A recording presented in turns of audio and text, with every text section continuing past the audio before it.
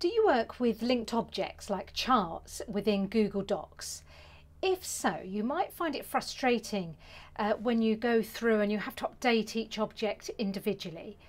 Well, you don't actually have to do that. You can update them all at once, and that's what I'm going to show you in this video. In this document, I've got three objects. Uh, firstly, I've got a chart that I copied and pasted linked from uh, Google Sheets.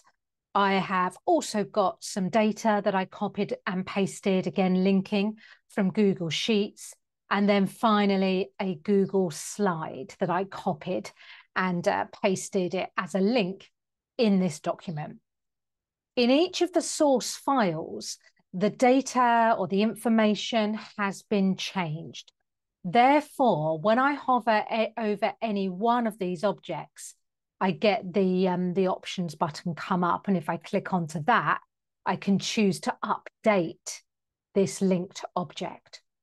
So I could go through and I could do that for all of my objects here individually, or I could go to the tools menu, linked objects.